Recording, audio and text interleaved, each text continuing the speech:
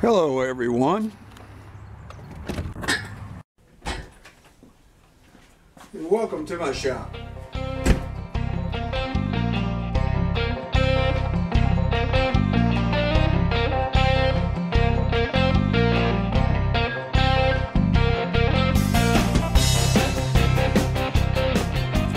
Hello everyone, welcome to my shop and my guest Miss Abby. We're uh, dog sitting for my daughter and son-in-law as they take the my grandsons to Disney World. so Abby just comes to hang out with me today. Today we're going to do some work on the uh, the GMC. I've been running it a lot lately and uh, I want to make it just run a little bit better while I'm working on the Chevy. So stay tuned.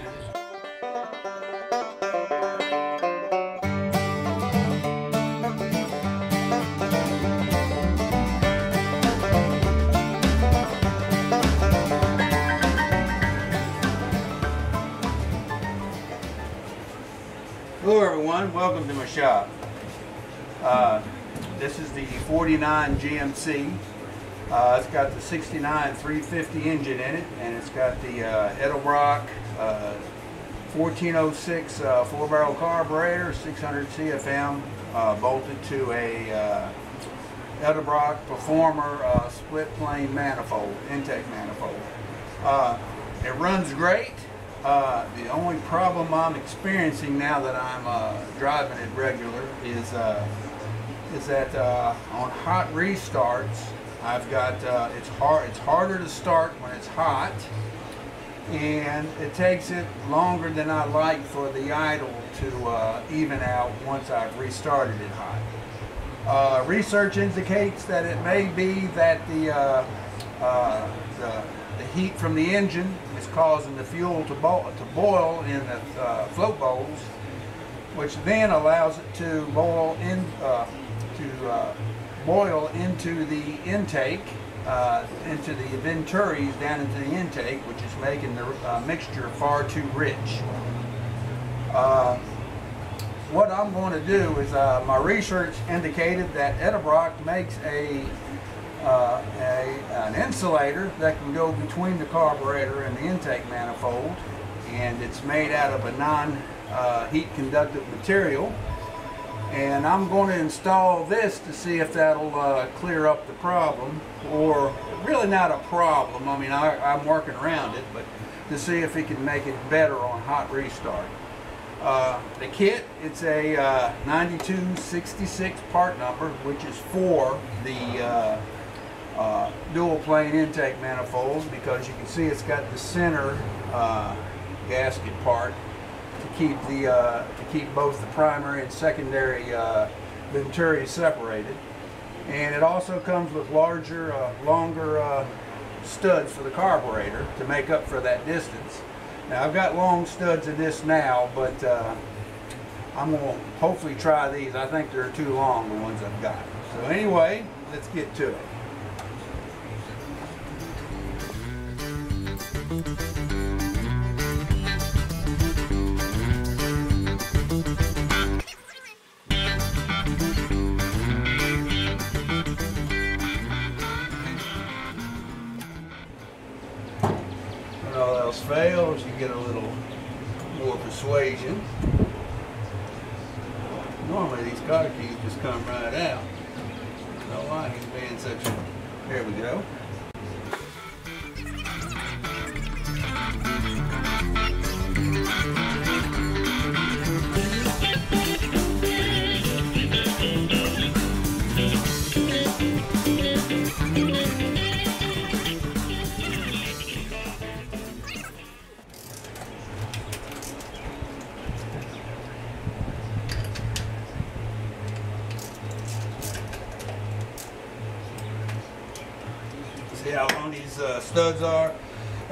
I had the, I used these same studs that was on the, uh, the uh, Weiand manifold I ran that had an adapter plus the carburetor. And I needed studs that long.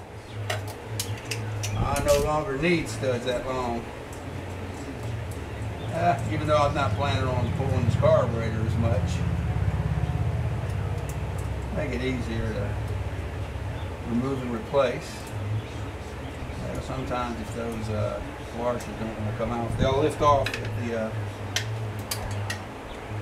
I'll bring the carburetor up.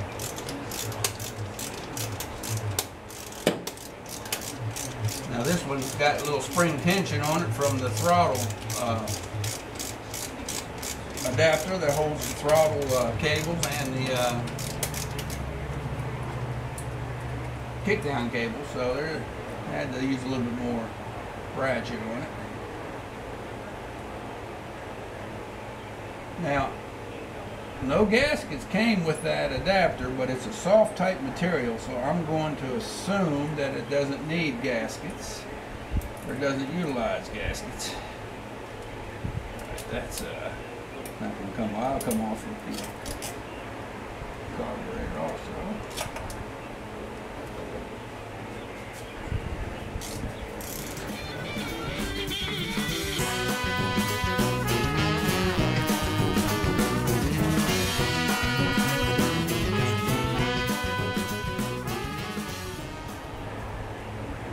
Sitting our uh, my daughter and son-in-law's basset hound. And she uh, she likes to hang with me out here in the shop. More so than my own dogs. Isn't that something? Okay. Alright, so we got a plate here. Order to make clearance, okay. Alright, there we go. Now, here's the original ga the gasket I put on there. I didn't, let's see, it shouldn't uh, leave any residue. I think I'm going, I am going to replace it with studs. I can reuse that gasket if I so desire.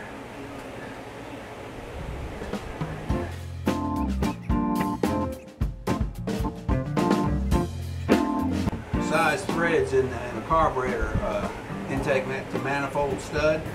A coarse thread and a fine thread. The coarse thread goes into the uh, manifold, the fine thread's for the uh, bolt, uh, the nut for the carburetor. And uh, they don't have to be overly tightened. I like to tighten them just a hair, give them a little cinch to, uh, so that way if you are taking the carburetor on and off, you can, uh, the stud won't come out with the nut. Okay.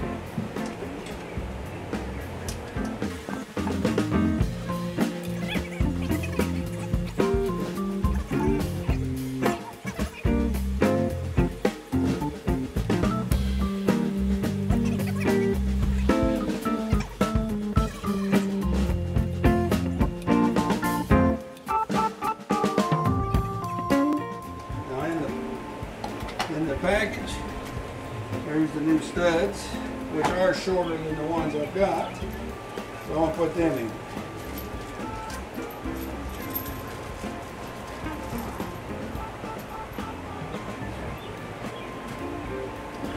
Remember the coarse thread goes into the manifold.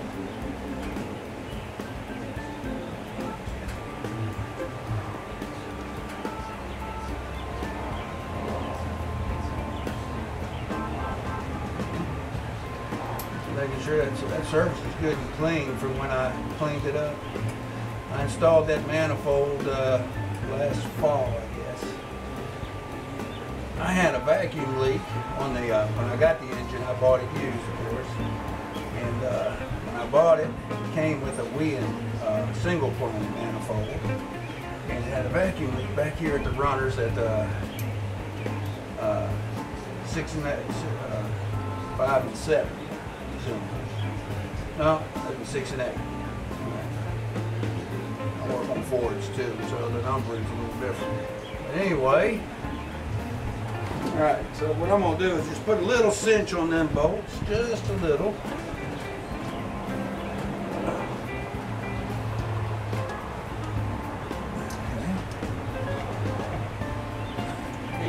Keep it down there. Now here's the gasket. See, this is a dual plane. It actually separates the uh, the uh, the, uh, the cylinders into four two banks, and this as the centerpiece here too. Now I don't know about that jut nut there in the middle. It doesn't really indicate a top or bottom. Looks the same on both sides. So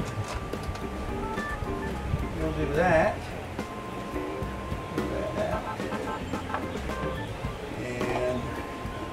Carburetor back on.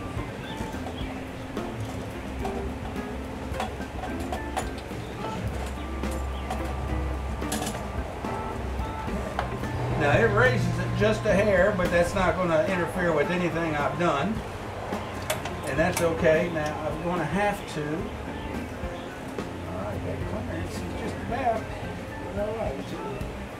Get this washer on. Let me. Alright. To slightly lift the carburetor to get that washer on.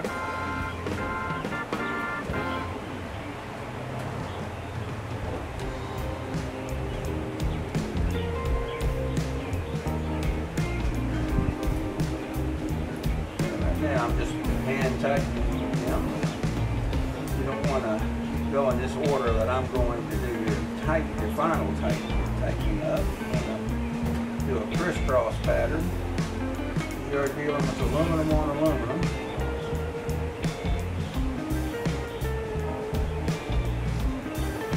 I don't have a half a mile of stud hanging above here. As you can see, it's uh, determined by Edelbrock to be the correct uh, size. Now let's get the ratchet.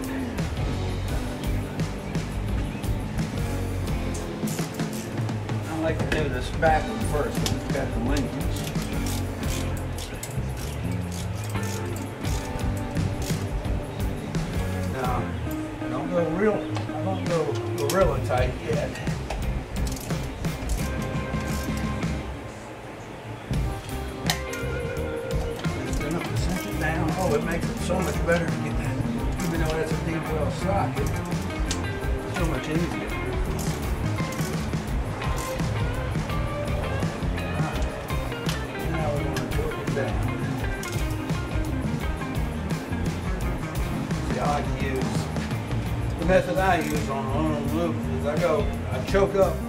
Here, and uh, however much my wrist can do.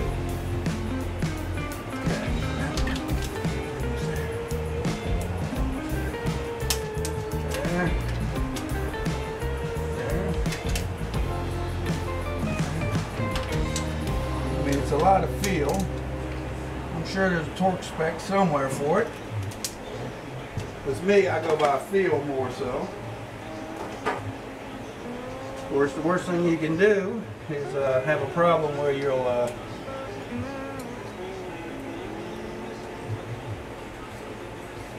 make sure you're still where you're supposed to be. Are. Okay. I'm gonna get a new cotter pin for that before I put the screw on. All right, let's get our vacuum lines reconnected.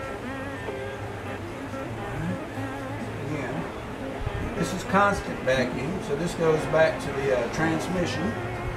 This constant vacuum source.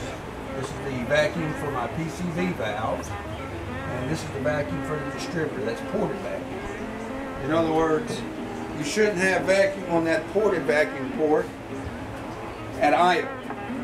It should give you vacuum once you start. Uh, your throttle plate starts over when you get into uh, start getting into slow speed. You get above. Let's say you get close to I don't know 1,000 RPM. That's when you should go. Well, I'm guessing, and I ought not to say. So, but I'm gonna guess around a thousand RPM. Uh, I'm sure there's people that know a whole lot better. They know the specs much better, and they uh, they can tell you when they do when they actually curve tune the carburetor. I mean the distributor when the uh, vacuum kicks in, and then when the mechanicals kick in. Okay, and don't forget the electric choke wire. There go. Alright, see my choke is already closed because I've messed with it. Now I need to get me a new cotter pin. I don't want to reuse that old one. Put it right here. I'm gonna take it over there, make sure I match it for the correct size.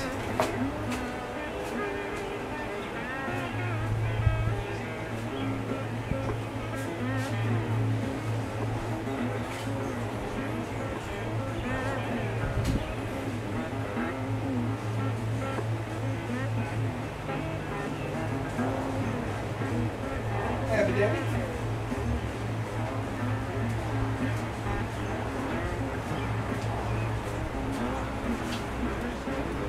Going to hold the throttle cable in. And move around two things. Just bend like that. All right. Choke set. All right. Everything's connected. All right. Nope, not everything. We gotta get our.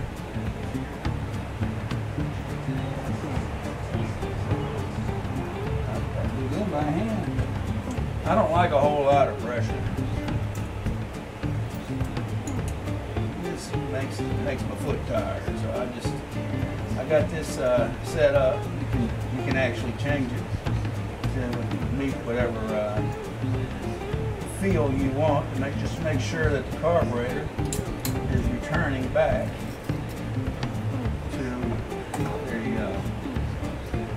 make sure that the carburetor returns back to fully closed when uh it off? All right I've already floored it once so there should be enough in there. Let's see what it does. We're to start him up.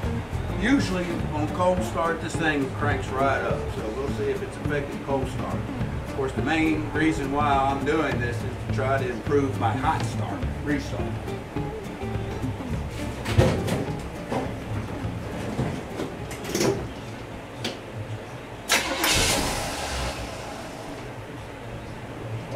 Pump.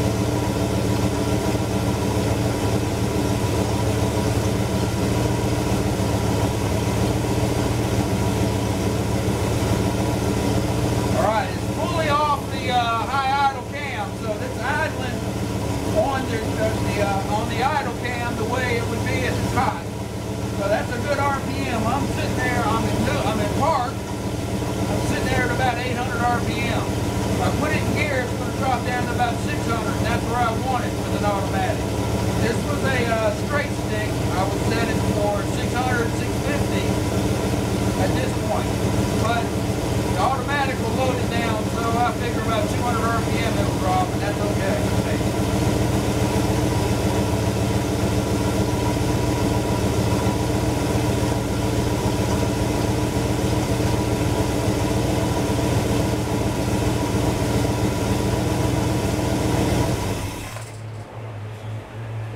All right, so what we've done is, it's a Edelbrock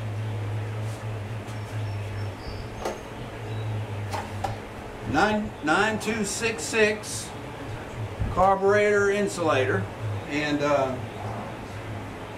the sole purpose of installing that directly on the manifold is to try to insulate the heat from the carburetor on shutdown. You know, when you shut these engines down, uh, no fans are running, of course, uh, they all get a little hotter just sitting there before they start to cool. And uh, that heat's transferred up into the carburetor. And in my case, I'm thinking it's boiling the fuel in the fuel float bowls and causing them to boil out via the vent tubes into the venturi, which is making the fuel air mixture too rich on restart when the engine is hot. Let's say I go drive somewhere and I pull in to, to fill up with gas, or I want to go in and get me a, a Coke, or uh, um, uh, or I go, well, anywhere, go to a parts store.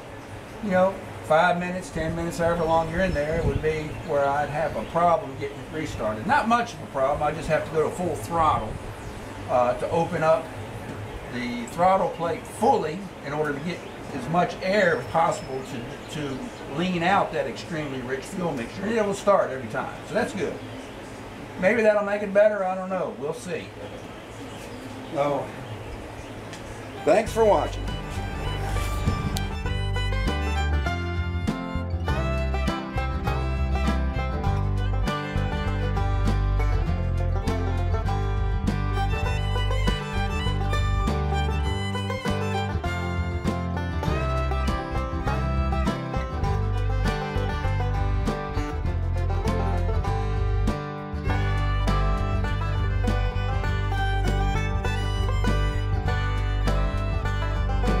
What you doing, my girl?